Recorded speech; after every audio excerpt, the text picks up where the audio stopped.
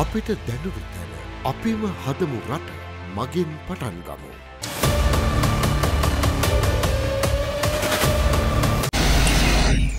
ඔවා ගියෝට කිවම අස්සම අඩි පිළිවෙලට දැන් අලුතෙන් අයිදුම් පත් කරන කතාවක් තාම මේක ක්‍රියාත්මක වෙන්නේ නැහැ. කවද්ද ස්වාමීන් ක්‍රියාත්මක වෙන්නේ බලපොරොත්තු ඇත්තම මේ අස්සසු මැඩිපිලට අලුත් දෙයක් අවුරුදු දසක ගණනාවක් අපි විඩාකාර සමාජ සුපසාධන වැඩ පිළිවල් ක්‍රියාත්ම කරා එව සුවිශේෂ ප්‍රතිලාභ තියෙනවා සමුෘද්ධ ව්‍යාපාර වගේ සෑහන ප්‍රතිලාභ ජනතාව අත්තිනෙනවා හැබැයි අවසාන ඉලක්කයට ගාතිකල් ප්‍රශ්නත් එක්ක තමයි අස්වසම හඳුනා දුන්නේ. ඉතින් මේ අලුත් දෙයක් හඳුනා දීමේදී ඇතිවන මේ ගැටලු අපි සාමාන්‍යයෙන් දකිනවා. මේක විශේෂයෙන්ම හඬක් නැති පොදු ජනතාවට සාහන සැලසීමේදී ඔවුන්ගේ ඔවුන් මේකට මුහුණ දෙන තත්ත්වය ඔවුන්ට මේ ඔවුන්ගේ තොරතුරු ලබා ගැනීමේදී මුහුණ දෙන අපහසුතා. මේ සියල්ලම එක්ක විවිධාකාර වූ අභියෝග ගැටලු ඇතිවන බව ඇතුවන බව අපි දකිනවා. ඉතින් මේකත් එක්ක තමයි රජය විශේෂ තීරණ කීපයකට ආවේ. විශේෂයෙන් අතිකරු ජනාධිපතිතුමා.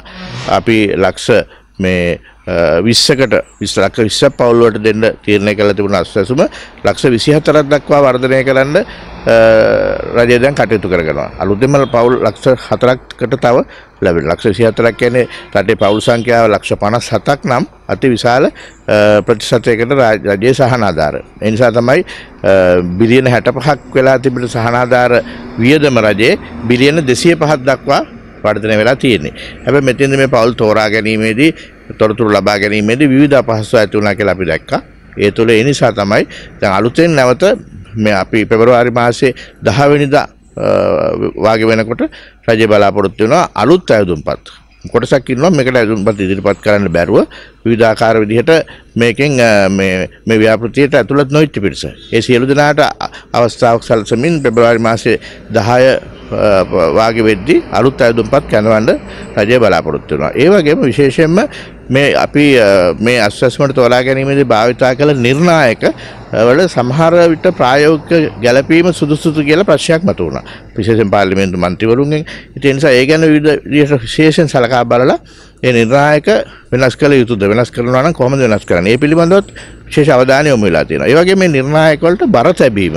ඒ බර තැබීම තුලින් ඇතිවන මේ සමහර සුදුස්සෙක් නුසුදුසෙක් බවට පත් වුණාද කියන කාරණාව. මේ සියල්ලන් පිළිබඳ අවධානය යොමු වෙලා තියෙනවා. අපි බලාපොරොත්තු වෙනවා ඒ අලුත් මේ අයදුම්පත් කඳවීම වෙනකොට මේ තත්ත්වයන් නිවැරදි කරගෙන මේ තත්ත්වයන් වඩාත් ප්‍රායෝගිකව අවශ්‍යම කෙනාට මේ සහනාධාර ලැබෙන විදිහට යොමු කර ගැනීමට අවශ්‍ය කටයුතු කරන්න මම දකිනවා දැනට මේ ක්‍රියාත්මක කිරීමේදී ගැටලු අපි සියලු දෙනා රජය නිලධාරීන් සියලු දෙනා අත්විඳින නිසා අපිට පුළුවන් වේවි වඩාත් නිවැරදිව මේ ක්‍රියාත්මක කිරීමට මේ පෙබරවාරි මාස වැඩපිළිවෙලත් එක්ක ඒ වගේම ඒකට අවශ්‍ය විශේෂයෙන් මේ සියලුම නිලධාරීන්ගේ සහයෝගය වඩාත් ලබා ගැනීමේ වැදගත්කමත් අපි අවබෝධ කරගෙන තියෙනවා.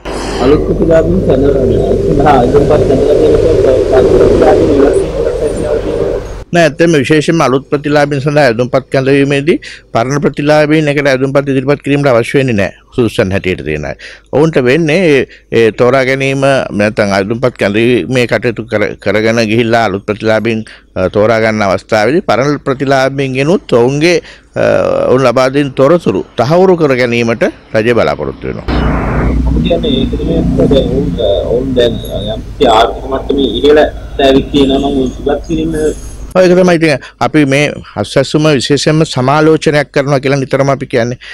දැන් අපි විශේෂයෙන්ම අවශ්‍යතාවය අනුව මේක අවශ්‍ය පරිදි ජනතාවගේ පැත්තෙන් ඉඳලා මේක හැම වෙලේම නම්‍යශීලීව වෙනස් කරනවා. දැන් උදාහරණයක් ගත්තොත් මේකේ කණ්ඩායම් දෙකකට අස්වැසුම ලබා දීමට තිබුණේ 2023 දෙසැම්බර් 31ට ඔවුන්ගේ දීමනාව නිමා වෙන්න තිබුණා. තව කණ්ඩායමගේ 2024 මාර්තු 31 වෙනිදා නිමා වෙන්න. හැබැයි දැන් රජය තීරණයක් ගත්තා. මේ ඒ කණ්ඩායම් දෙකේම දෙන ප්‍රතිලාභය 2024 දෙසැම්බර් 31 දක්වා දීර්ඝ කරන්න. ඒ වගේම අර මේ මේ අඩුම කරදරයට පත් වූ කණ්ඩායමට ලබා දීමට තිබුණු දීමනාව රුපියල් 2500 5000 දක්වා වැඩි කරන්න.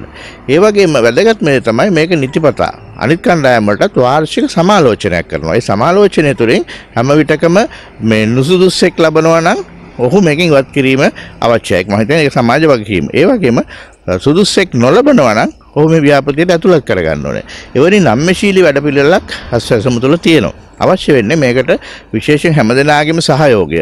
අ, එක පැත්තකින් අස් මේ සහනාධාරලාභියාගේ. දැන් අපි දැක්කා අ, රජය ඉල්ලා සිටියා වැරදි කෙනෙක් සේරලා ඉන්නවනම් කරුණා කරලා මේ පෙන්වා දෙන්න. මේ පෙන්වා දෙන්න කියලා ඉල්ලා සිටීමේදී අපිට ලැබුණේ ලක්ෂයක් තමයි මේ විරෝධතා.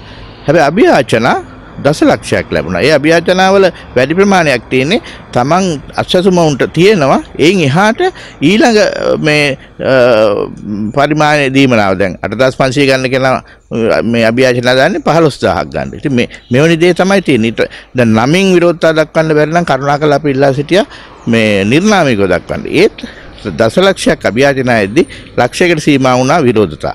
දැන් අවශ්‍ය වෙන්නේ මේ හැමදෙනාම මේට වඩා ගැඹුරින් මේ සමාජ වගකීම අස්වැසුම ලාභියා සාමාන්‍ය සමාජය කෙනා මාධ්‍යවේදී සහෝදරයා සියලු රාජ්‍ය නිලධාරීන් දේශපාලන අධිකාරී මේ සියලු දෙනා මේක හරියාකාර අවබෝධ කරගත්තොත් අපිට පුළුවන් දශක ගණනාවක් අපිට බැරි වෙච්චි සුදුස්සාට අවශ්‍ය මේ රජයේ සහනාධාරය සුදුස්සාට ලබා දීලා ඒ වගේම මේ වැඩපිළිවෙල තුළින් ඔහු ශක්තිමත් ආර්ථිකයක් කරා ගෙනියන තැනට කටයුතු කරන්න මේ සියලු දෙනාගේ හැබෑ සහයෝගය රජයට අවශ්‍ය වෙනවා. අවසාන වශයෙන් මේ වැඩ පිළිවෙල ගෙනියන්න අවශ්‍ය ප්‍රතිපාදන ආණ්ඩුවට ප්‍රතිනෝ වගේ පොස්තම ඒ අභියෝගයට රජයේ මුහුණ දුන්න දැන් පසු මේ 2023 වර්ෂයේ බැලුවොත් ඒකට අවශ්‍ය මුදල් ලෝක බැංකුව අපිට ලබා දුන්නා. හැබැයි 2024 දී මේ බිලියන 205ම ලොකු මුදලක් අපි රජය ලබා ගන්න ඕනේ. මෙන්න මේ අභියෝගත් එක්ක තමයි අපි මේ ඉදිරියට යන්නේ. හැබැයි රජය මේ සියල්ලම වෙනුවෙන් අවශ්‍ය සැලසුම් සකස් කරලා රාජ්‍ය ආදායමීට ගැළපෙන විදිහට වර්ධනය කරගෙන තමයි මේ ගමන යන්නේ.